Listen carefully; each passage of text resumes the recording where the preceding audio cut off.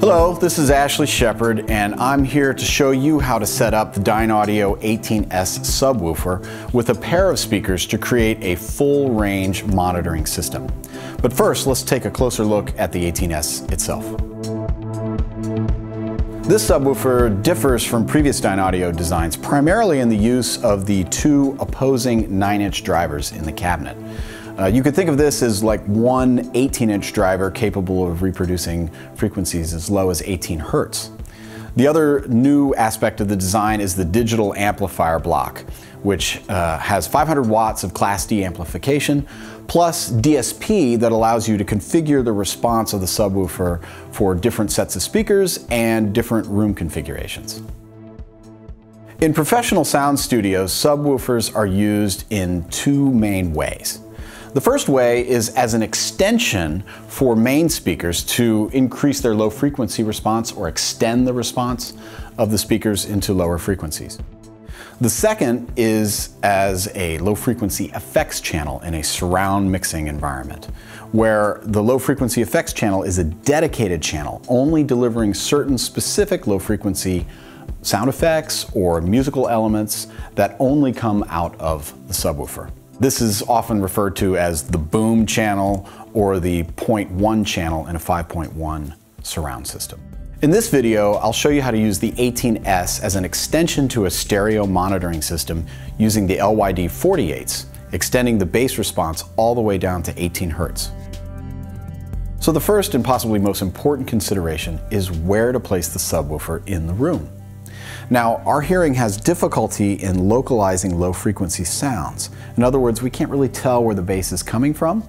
So that gives you some freedom to place the subwoofer in multiple different locations without affecting the imaging of the system. Now the second consideration is that location of the subwoofer can affect the low frequency response of the room.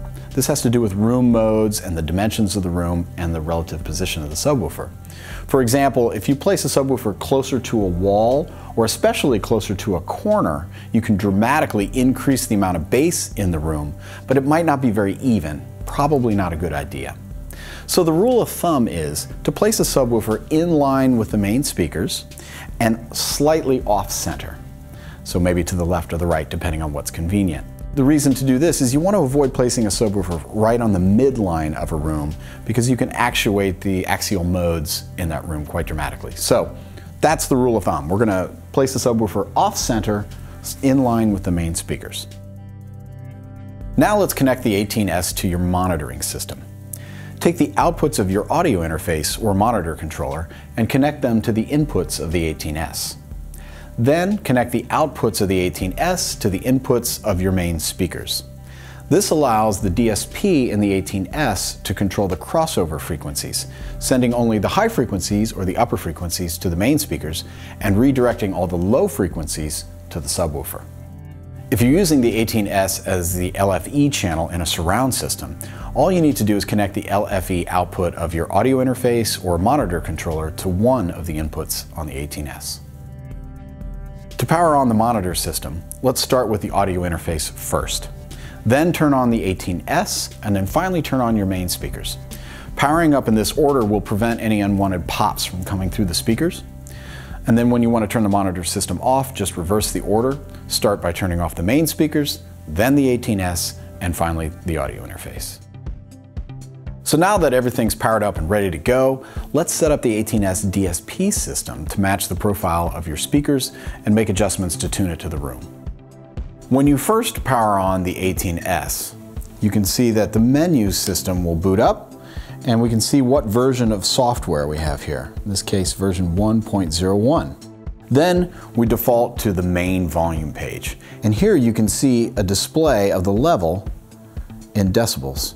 And if you adjust the knob, you can increase or decrease the level by half a dB increments. To enter the menu system, press the knob. Once in the menu system, you can turn the knob to select the various options, and then press the knob to either execute or select that option. The first page shows the status, if the sub is operating normally. The second page allows you to adjust the input sensitivity. Now for professional audio interfaces, start with the minus 6 or minus 12 dB setting. The third page is where you select the preset profile of the speakers that you're using. Now, if you're using the 18S as the LFE channel in a surround system, set this to bypass. Otherwise, choose the model of speaker that's connected to your system and select that. In this case, I'm going to select the LYD48 profile. If the model of speaker that you're using is not available as a preset profile, use one of the following crossover settings that best matches the bass roll-off of your speakers.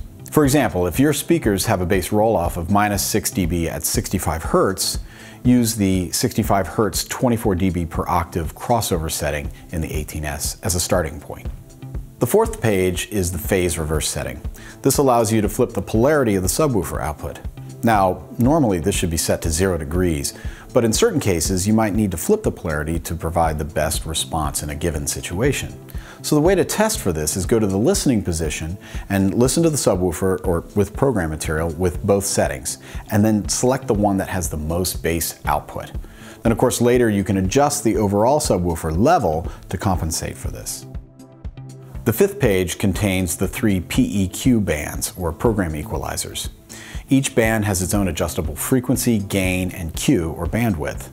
Now remember, uh, acoustic testing equipment should be used when making any significant changes to the program equalizers. The sixth page allows you to set the auto standby time, whereby the 18S will go into a power saving mode after either 60 minutes or 120 minutes of inactivity. The seventh page is the line wake feature, which allows the subwoofer to turn back on when it detects an input signal. The 8th, 9th, and 10th pages are for timing delays in case your speakers are at different distances to the listening position. Basically, you measure the distance from each speaker and the subwoofer to the listening position, and then enter those distances in centimeters in these three pages, and the 18S will calculate all the timing delays necessary to make sure that sound arrives in phase at the listening position. Finally, the 11th page allows you to perform a factory reset of all parameters. Now that you've made all the settings in the DSP, it's time to listen to some music. So start out with some material that you're familiar with, but also has some good low frequency content in it to test out the sub. The best advice I can give is not to overdo it. Too much subwoofer volume can give unrealistic results, and your mixes might not translate so good on other systems. Certainly if there's an extremely low bass note or drum element, the 18S is going to let you know it's there clearly. But generally speaking, most of the time, the subwoofer should be subtle at moderate playback levels. If you want to fine-tune the frequency response of the subwoofer, try experimenting with different positions. If you move the subwoofer maybe a foot or so in any direction, you can dramatically change the frequency response in the room, and you'll find one location that probably sounds the best. For very refined adjustments, acoustic testing equipment should be used, and the advice of a professional acoustician or system tuner would be recommended. Thanks for watching this Dynaudio tutorial, and I hope you enjoy listening to the 18S.